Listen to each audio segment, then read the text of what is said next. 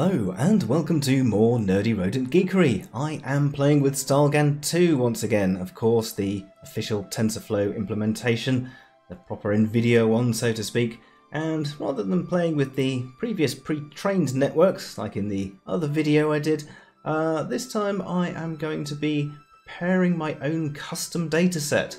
So we've got a couple of things to do down here. So custom, create custom datasets by placing all training images under a single directory. The images must be square shaped and they must have the same power of two dimensions. Okay, fair enough. Now, it, it seems like quite a, a quick and easy thing to do, um, but this may take you a little while. So, the first thing to do is actually to find some images in order to place them into a single directory. This is perhaps more difficult than you would first assume because the number of images that you need is so high. Um, essentially, you're looking at more than a thousand. Uh, if you can get 20,000 or 50,000 images, then that's better.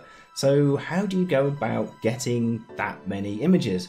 Okay, there's a number of different things you can do, uh, but I think one of the easiest things that I found basically is just doing a dataset search. Um, so you can use something like Kaggle or Google Dataset Search, and they've got various filters. You know, so if you want uh, JPEGs uh, and you know allowing for commercial use, that's that's what I've done here. Um, and I'm just searching for food. Um, now you'll get lots and lots of different data sets, and remember they all have to be in one directory, uh, and often um, they'll be um, for recognition um, so you'll get training directories and, and, things like that, and the images may not necessarily be in one directory. Completely depends on each on each data set. Uh, some of them are, some of them aren't. You know, they're, they're named or whatever. Um, so I did a really really tiny little script uh, for the food data set that I downloaded, and um, that was basically just you know to go through every every subdirectory, find all the JPEGs, and just rename them sequentially with a little file count. So I've got everything in one directory. Fantastic. So just have a quick look at that. So there they are. You know, just naught to uh, I think there's a couple of thousand in there. So all right, that's that's got our first thing. So I've got all the images under a single directory. Uh, now next, the images must be square shaped and they must have the same power of two dimensions. Okay, again, that's another little script I just had to write this one, which is quite easy. Now for this one, you need um, the Mogrify command from ImageMagick, uh, but basically, you know, just throw in the square size there, and that'll go through the single directory with all the images in, um, resize them, and then cut a square out of the middle, so you get you keep the proportions of the, of the image, uh, but everything's 512 by 512. Um, I've actually been playing with a different dataset recently, flowers, um, so it's set up for a different one uh, rather than the food. Um, if we have look, another look back in here, so we can go through these. So these are all 256 by 256 square. As you can see, every image exactly the same size. There's, there's, you don't see these borders popping out anywhere because if you've got anything in there that isn't exactly the same size as all the other images, you know, all have to be the square powers of two um, it's going to not work. You're, just going to fail. Um, the command will stop and say, no, you, you've done it wrong. I've managed to, managed to import some images, but it doesn't actually work. So, it should, should work nicely. Um, so this is the command from here, the custom um, dataset creation. So it's basically, basically running their dataset tool, uh, create from images, and then uh, your dataset and um, the images you just downloaded. So just a little note, if you don't already have a datasets directory, you know, you may have to make one. Uh, I've made one here already, uh, custom datasets food. Um, and so all I have to do is basically run this. Oops, that one. My custom one. So that's doing the local datasets directory. That's where it's going to create the TF records and it's doing it from those food images it's in my datasets food. Yeah, so it's going through all those. And this will take a couple of seconds and I will see you on the other side. Okay, great. So we've got our images there. They're all uh, all been turned into TF records. So now we can start to do some training. There's a few little things you can do to make the training go mm, differently. Um, now, obviously, the two different configs.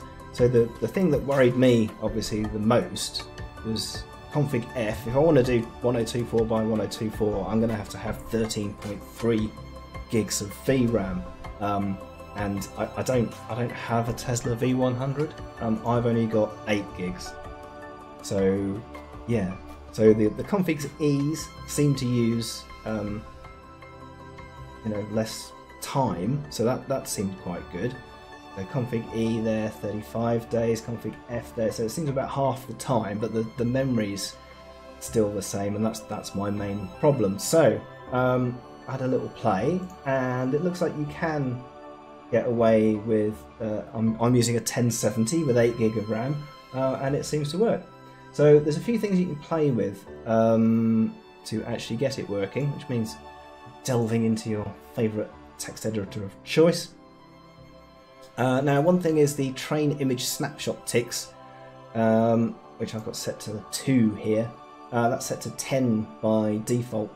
Now, on my tests, um, I found that a tick took about 53 minutes, um, which means that 10 times 53 minutes was every time that you were getting a pickle file created, uh, which may be too long. So I, I dropped it to two anyway, uh, and then you can sort of see uh, every couple of hours rather than every 10 hours um, what's going on. So that's that's quite good. Um, and there's also this uh, mini batch size and mini batch GPU base.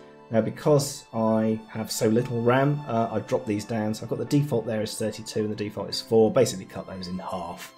Um, and I found that using a 512 by 512 image um, I was only using 6 gig um, of RAM so that that seemed to be okay that seemed to be okay um, normal system memory went up and up. That used about 20 gig uh, of my normal RAM, uh, but it, it didn't uh, it didn't do the normal GPU memory overflow thing, so that was quite good.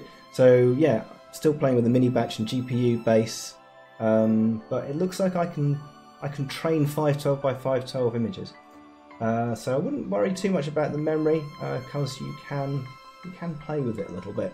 Now obviously the other thing that can go wrong is something goes wrong.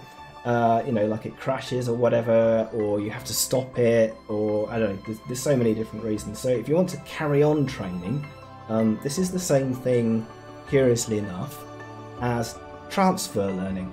So um, you can take another pickle and you can resume training from that, so to speak, with your data set which is what I've done with uh, another dataset, Flowers, um, which will be coming out soon. There's a couple of videos there. Um, so yeah, um, you can get some some interesting things there. Uh, and if you want to carry on um, from a previous pickle or or do the, the transfer learning, it's the same thing. Uh, in the training directory, there's the training-loop.py file, which I've got open here already, and there's a few things I've I've played with in here, like the uh, global mini batch size and GPU base again as well. Uh, but more importantly, the resume down here. Um, so we've got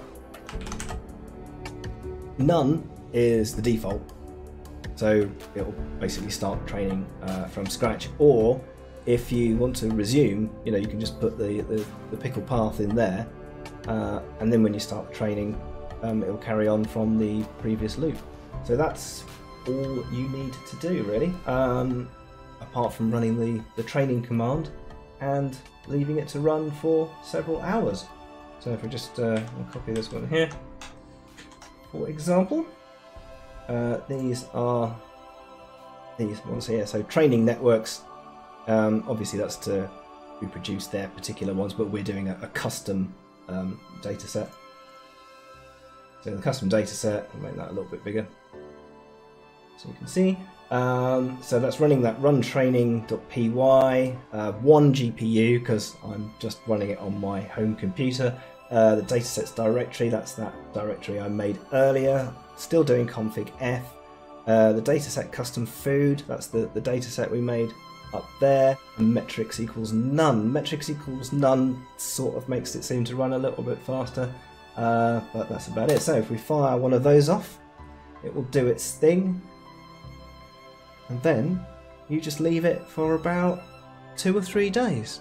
Uh, and come back and you'll, you'll have some pickle files in your results directory. Luckily, of course, I've, I've run this already, so just while that's doing its thing, uh, we'll just pop into our StyleGAN 2 results directory. Now you'll see them appear sequentially in here. So this is the one that I've just been running now, the, uh, the food config.